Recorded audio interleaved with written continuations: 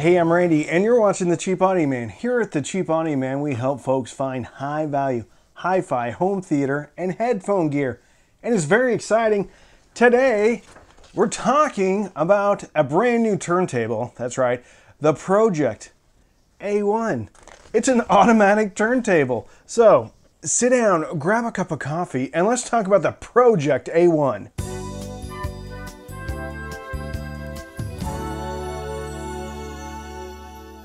Pro-Ject reached out to me and asked me if I was interested in reviewing the A1, which I really was because there aren't really any turntable automatic turntables in this price category. They didn't ask me to say anything though, so all of my thoughts are my own. They're not actually beamed in from I don't know, celestial body or something like that.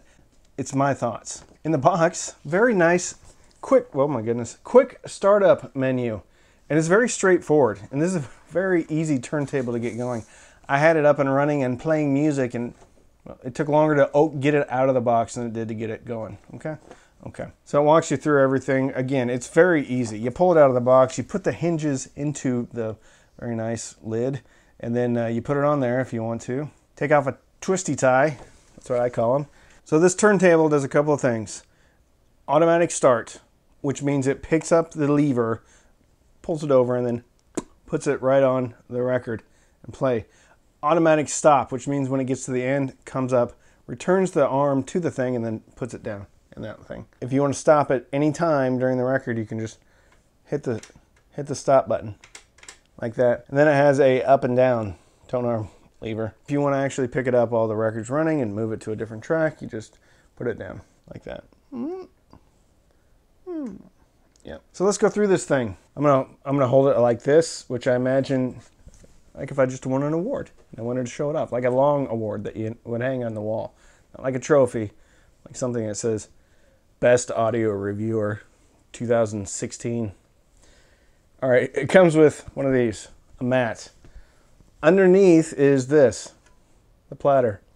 It is held on by one of these little rings. So if you need this to get this off, you need one of those little pliers with the little two pins in the mm, like that.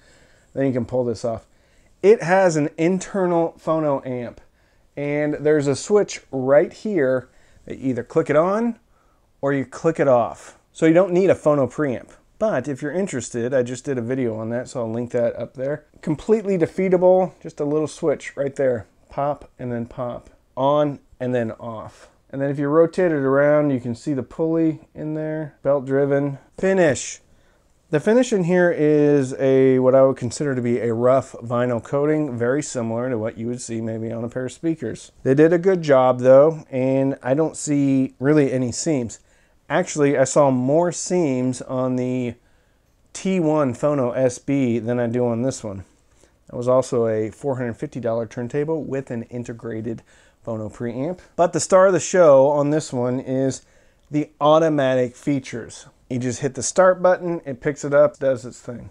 The included phono cartridge is an OM10, Ortofon OM10.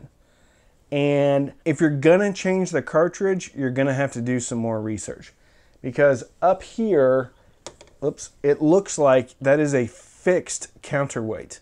I don't see any way to adjust it unless one takes off maybe this tape and they can screw a different one on there. So it looks to me, if you want to change the cartridge, you better find one that has very similar characteristics as far as tracking force and all that other stuff as the OM10. Build quality. Overall, I think the build quality is pretty good. On the bottom, there are four feet. Those four feet are not adjustable, but they seem pretty nice. Since the feet aren't adjustable, my rack is not very good, but it's it's not level, so it kind of dips in the middle a little bit. So I had to use some things to level this up a bit. Build quality on the plinth feels pretty good. Feels pretty heavy. The feet are fine. I wish they were adjustable. Tone arm, fine. Head shell, I don't love the plastic. I also don't love the plastic on the switches. And I don't love this right here. This area is okay. And know this, this does not affect sound quality at all. This is purely my opinion about the build quality. I just feel like this is I just wish this felt a little bit better, a little bit more refined. This is handmade in Germany, and I know a lot of their other turntables, including the T1 Phono SB, just felt a little bit more premium. And I get it, they're packing automatic functionality into this turntable and an internal phono preamp. So I get there's got to be cost savings. I just wish these would looked a little bit better and felt a little bit better. And I wish there was maybe a, an adjustable counterweight. Now, granted, if you're putting a different cartridge on there, then you're probably going to be throwing off all the automatic feature sets. But at least maybe tell us what cartridges we can put on there and have some options if one doesn't want the OM10 cartridge. Sound wise, it was great. I ran it through the Pro-Ject Phonobox S2 Ultra which is a $350 phono preamp and it made it sound fantastic. The internal phono preamp on here is similar sounding to the one that was on the T1 Phono SB, which is good, it's passable, it's just fine. But if one is willing to invest into an external phono preamp, one is going to get a lot more sonic benefits out of this turntable. Even the Fosi Audio $70 Box X2 phono preamp is going to add some dynamics to this because the internal phono preamp was just a bit kind of like the difference between listening to Bluetooth and listening to AirPlay. Just more music. It was the, the internal phono preamp just felt a little bit less dynamic, less punchy. Had detail on top, but it was much more sterile than the Pro-Ject Phonobox S2 Ultra or the Fosi Audio X2, whatchamacallit. So who is this for? This is for vinyl folks who maybe don't have the steadiest of hands. Just want to press a button or flip a lever and have it turn the record on for you. I think this is a huge step in the right direction because automatic turntables were ubiquitous in the 70s and really even in the 80s.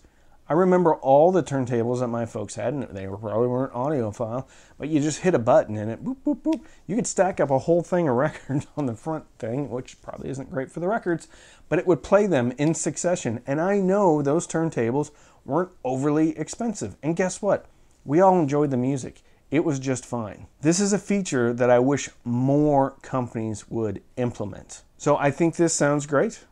I think the automatic functionality is awesome. However, I don't think this turntable is going to be the most versatile when it comes to changing things out or adding accessories or customizing it. This is what you get. The cable on the back is also fixed permanently, so it's in there. It's wired in there. It's a very nice cable though. Very thick, very pretty. Has the ground in here. So the cables very nice. Again though, sorry. I wish it was removable.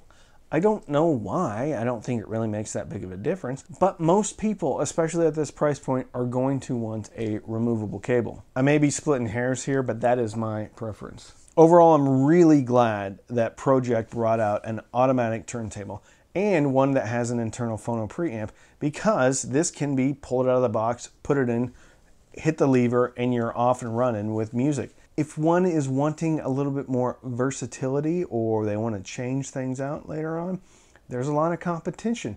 There's also a lot of competition that may not be fully automatic, but there is some automatic features like the Fluance. Then we also have to consider that the OM10 cartridge, while it's very capable and very good, is about a 70 to $80 cartridge. And some companies out there will include the OM10 cartridge and they'll include some semi-automatic functionality and that comes in at $300. That's the Fluance RT82. I almost said 83.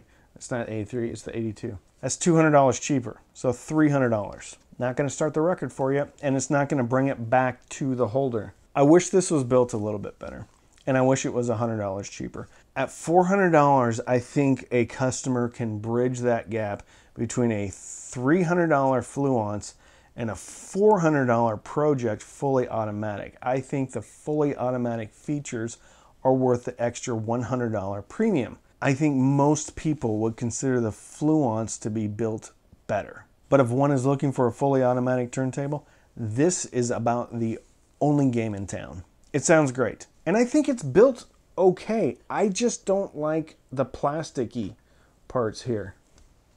I don't think it's going to break. It probably won't break, and they have a warranty even if it does break. But this turntable is going to appeal to a specific audience. If one wants a turntable that they can upgrade, this probably isn't it. This is an out of the box, it's going to work, and it's automatic.